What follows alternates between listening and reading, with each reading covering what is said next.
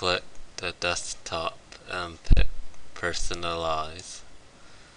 And uh, go to Windows color and pick your favorite color. And you could enable transparency and uh, color intensity like green, yellow, silver, purple and other color. If you want a custom color, change the hue, saturation and uh, brightness.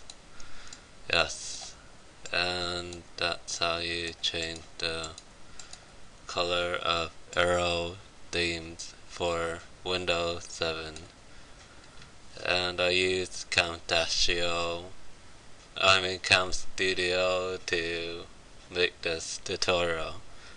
And my website is johnsonyip.com and uh, to save your setting pick save changes. Thank you